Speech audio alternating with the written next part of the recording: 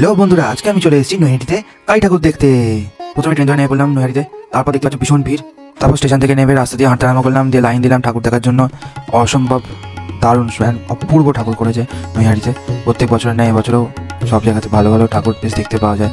তারপর আবার ভিড় ঢেলে পরের মণ্ডপের দিকে এগিয়ে গেলাম, এখানেও বেশ দারুণ করেছে, তোমরা দেখতেই পাচ্ছ। এইবার পরপর ঠাকুর দেখতে দেখতে ডিগুটি পায়ে গিয়ে গেলাম। এটাও বেশ ভালো করেছে। প্রত্যেকটা ঠাকুরই মেহারিতে বেশ ভালোই লাগে। অসম্ভব সুন্দর।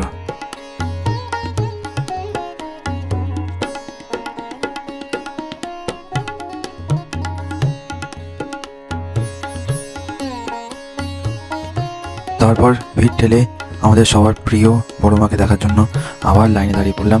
আস্তে আস্তে ভিড় ঠেলে বড় মার মণ্ডপের দিকে গেলাম, গিয়ে বড় মাকে দর্শন করলাম। দু চোখ পরে অপূর্ব সুন্দর গয়নাগাটি দিয়ে বড় মাকে সাজিয়েছে নৈহাটি বড় মা পুরো কমিটি। খুব ভালো লাগল দেখে। দেখে মনে হয় চোখ জুড়িয়ে যায়। এখানে একটা স্লোগান আছে, ধর্ম হোক যার যার বড় মা সবার। যে কোনো ধর্মের মানুষ বড় মাকে ডাকে বড় মাকে ডাকলেই সে ফল পায়, তার মনস্কামনা পূর্ণ হয়।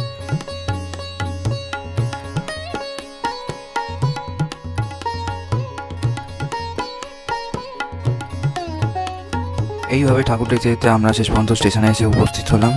বুঝতে তোমরা দেখতে পাচ্ছ ভীষণ ভিড়। আজকের জন্য এই পর্যন্ত। তোমার যদি ভালো লেগে থাকে, অবশ্যই লাইক কমেন্ট শেয়ার করতে ভুলো না। টাটা।